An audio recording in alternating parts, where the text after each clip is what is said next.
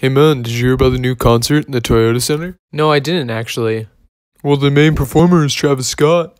We can see it with all the ice on in the booth. At the get outside when they put you big, give me loose. Yeah, jump out, boys, let's. Are there any other rappers involved?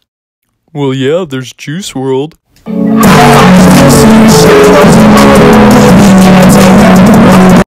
And there's Gunna.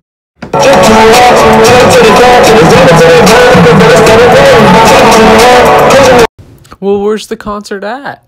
It's at the Toyota Center, located on 7000 West Grand Ridge Boulevard. You can even find tickets on any ticket website.